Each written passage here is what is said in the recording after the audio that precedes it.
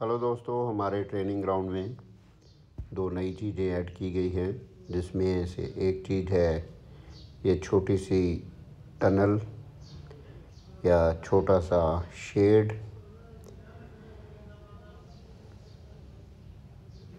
कुछ लोगों को ये लगता है कि ये ट्रेनिंग क्यों की जा रही है और इसका क्या मकसद है।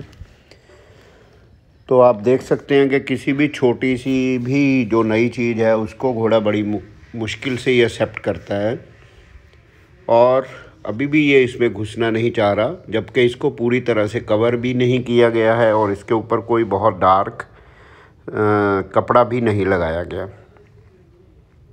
जस्ट फॉर स्टार्टिंग इस ट्रेनिंग के बाद घोड़ा अगर आपको किसी संकरी जगह से गुजरना पड़े चले जाओगे किसी अंधेरे कमरे में जाना पड़े चले जाओगे या ट्रेलर में चढ़ने में भी ये जो हमारा डिवाइस है ये काम करेगा। ये ऑब्स्टिकल काम करेगी।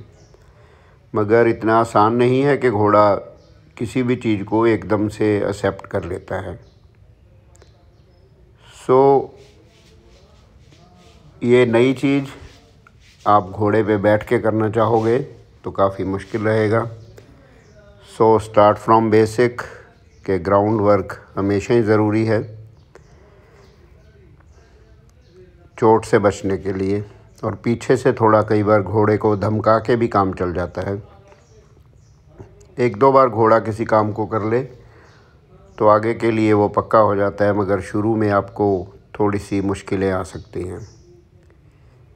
अब ये घोड़ा इस साइड से भी अंदर घुसना नहीं चाह रहा तो ज़बरदस्ती नहीं करनी चाहिए। कोशिश करेंगे, अगर नहीं जाएगा तो मैंने जेटी को बोला कि आप दूसरी साइड से ही लाओ ताकि इसका डर कम हो।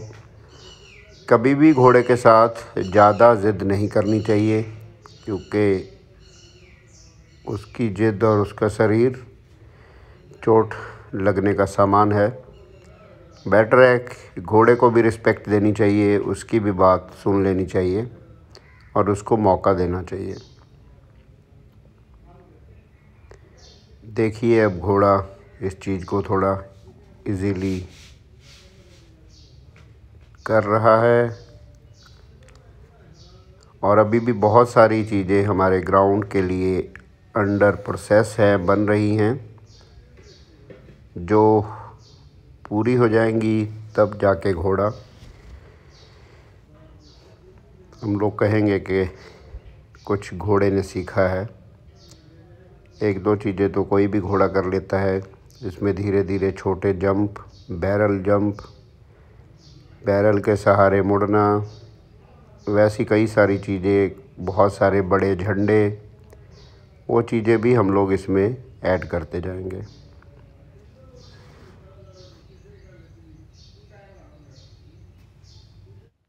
एक और नई चीज़ हमने इसमें ऐड की है, वो है एक छोटा प्लेटफॉर्म। इस प्लेटफॉर्म को धीरे धीरे हाइट भी इसकी बढ़ाई जा सकती है। इस तरह से ट्रेनिंग का एक फ़ायदा है कि जो घोड़े पिकअप में कई बार ऊँची नीची जगह रहती है, उसमें नहीं चढ़ते हैं। उसमें ये ट्रेनिंग हेल्प करती है। या कई घोड़े किसी भी प्लेटफॉर्म के पास नहीं जाते, अगर आपको माउंट होना हो। मेक श्योर sure कर रहे हैं कि ये हिल तो नहीं रहा, क्योंकि शुरू में ही अगर अंडर ट्रेनिंग ये हिलता रहेगा तो घोड़े का डर और बढ़ता जाएगा। वैसे तो ये टायर्स के ऊपर चढ़ जाता है, मगर ये जितना घोड़ा दिमाग वाला होता है, उतना ही वो दिमाग चीज़ों को दो, देख के लड़ाता भी जाता है। घोड़े को ज़्यादा स्ट्रेस ना देते हुए प्लेटफॉर्म से पहले हम लोगों ने एक मैट रखा ताकि घोड़ा उस सरफेस को इजीली एक्सेप्ट कर सके।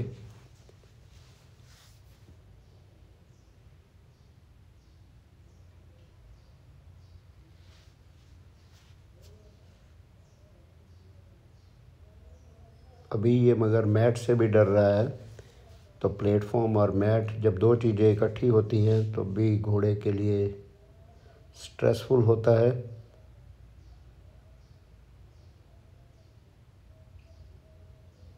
इस तरह के घोड़े को पूर्ण रूप में ट्रेन करने के लिए शायद सौ सेशन लग जाएँ या उससे भी ज़्यादा लग जाएँ।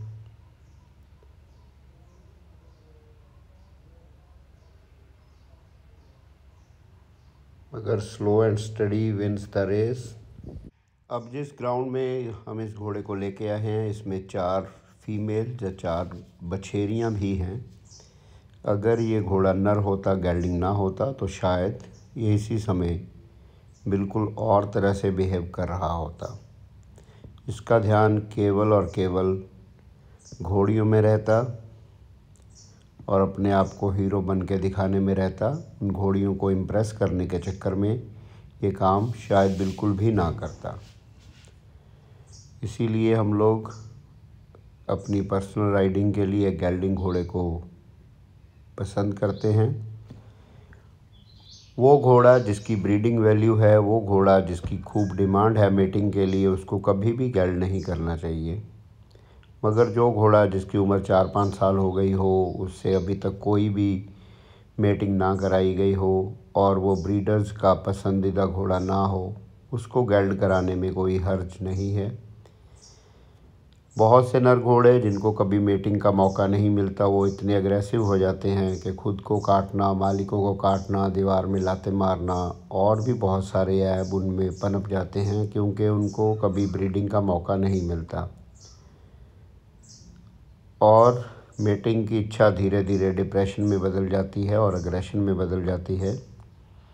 अब ये घोड़ा इसके आसपास बछेरियाँ भी घूम रही हैं, मगर इसका उनमें वो ध्यान नहीं है। सिर्फ़ एक क्रियोसिटी जो एक घोड़े को देख के दूसरे घोड़े को होती है, उससे ज़्यादा क्रियोसिटी इसमें नहीं है।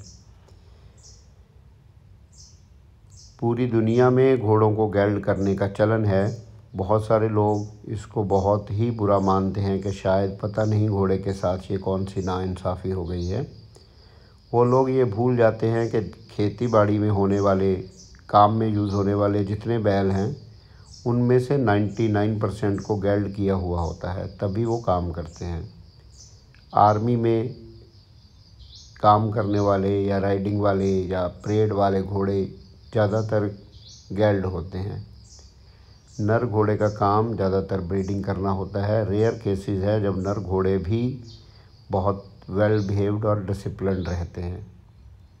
मगर ज़्यादातर काम वाले घोड़ों को गैल्ड ही किया जाता है। राइडिंग स्कूल्स में भी आप गेल्डिंग घोड़ों को देखते हैं। आर्मी में पुलिस में सब जगह गैल्ड घोड़ों को ही प्रेफर किया जाता है।